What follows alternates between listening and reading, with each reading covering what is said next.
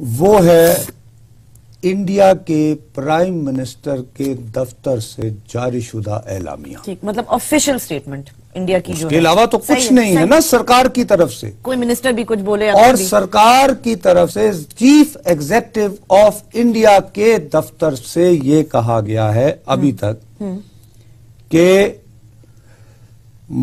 یہ prime minister Modi نے ہمارے پرائم منسٹر صاحب کو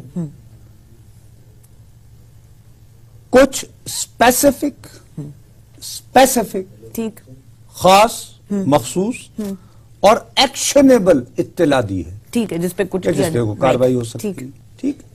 جس میں کچھ تنظیموں اور افراد کے نام لیے گئے۔ ہیں ٹھیک۔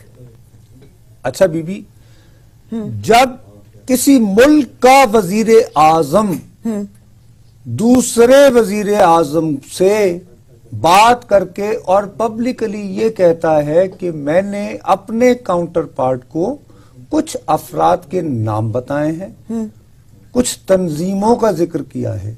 تو وہ اٹ سیلف اس بات کی ایڈمیشن ہوتی ہے۔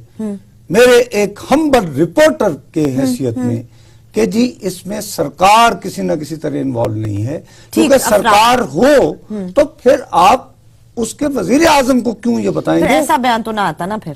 ایسی ایسا تو ان کا سٹیٹمنٹ نہیں۔ آتا نریندر پھر تو آپ اپنے امبیسڈر کو واپس بلاتے ہیں اپنے ہائی کمشنر کو بلاتے ہیں اور آپ کہتے ہیں کہ جی وی ول مثلا جیسے سعودی عرب اور ایران میں آج کل ایک چپلش۔ ہوئی ہے تو انہوں نے یہ اس طرح کا خط نہیں لکھا ریاض نے تہران کو۔ ٹھیک پھر اتنا صبر جی ہمارے ایمبیسی کو ہم- نے آپ کو حسن روحانی صاحب یا فلاں فلاں صاحب ہم نے آپ کو وہ دیا ہے۔ اب آپ برائے مہربانی ہم انتظار کر رہے ہیں ہم دیکھیں گے آپ ان کے خلاف کیا کاروائی کریں۔ ٹھیک رائٹ اب یہ ہے وہاں کی سرکار کی پوزیشن ٹھیک جس پہ ہم سب حیران ہیں اب یہ Bruce Riedel.